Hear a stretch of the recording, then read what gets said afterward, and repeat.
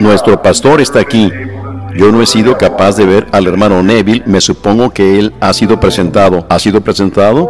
El hermano Parker dice, sí, sí, el hermano Neville. ¿Dónde está usted, hermano Norman? No lo puedo ver y... Oh, qué cosa. Está allá atrás, enfrente de mis propios ojos. Venga aquí a la plataforma un momento. Yo sé que este hombre es un verdadero siervo de Cristo.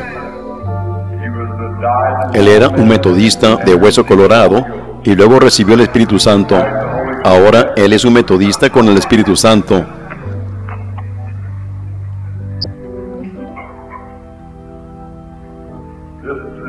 Este es nuestro precioso pastor. Quiero estrechar su mano, hermano Neville. El hermano Neville dice, gracias, Dios lo bendiga, gusto de verle. Gracias, gusto. Yo he conocido al hermano Neville por años y a su encantadora esposa, aún antes que ellos se casaran. Y en los años que yo lo he conocido, él nunca ha cambiado ni una pizca, únicamente que se ha elevado más en Dios. Eso es todo. Pero él es confiable, lo amamos ahora como pastor, él ha estado allí por años y esperamos que él se quede allí hasta que Jesús venga, si es la voluntad del Señor. ¿Y le gustaría decir una palabra al pueblo, hermano Neville? El hermano Neville dice, bueno, ciertamente estoy complacido de estar aquí en compañía con este buen hombre de Dios, con el que ha sido mi privilegio de asociarme por estos 10 años. Yo no sé si he desempeñado un buen papel de Giesi o no, pero yo he tratado de cargar la vara por este hombre de Dios. Él es más que un amigo para mí, él también ha sido para mí como un padre en el Evangelio como se dice, aunque yo soy unos cuantos años mayor que él. Pero sin embargo, también estoy tan encantado de estar en esta reunión. Algo hecho mano de mí aquí en Southern Pines, que me gusta mucho este lugar y yo lo he disfrutado inmensamente. Yo sé que Dios tenía su mano de que yo fuera capaz de venir aquí y estar con el hermano Branham en esta reunión. Así que yo he estado tan complacido de estar aquí de que las cosas han obrado tan convenientemente y muy maravillosamente que yo no puedo alabar al Señor lo suficiente esta noche por todo esto.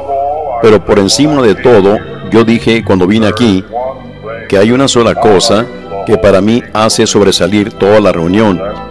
Y eso es esta palabra de Dios. Amén.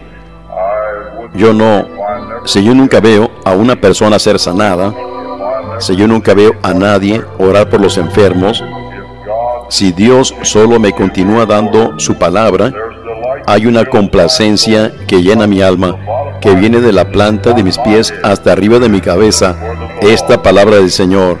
Y amén. Yo estoy encantado que Dios ha bendecido a este nuestro, el siervo de Dios y profeta, y yo he sentido la bendición viniendo de él hacia mí.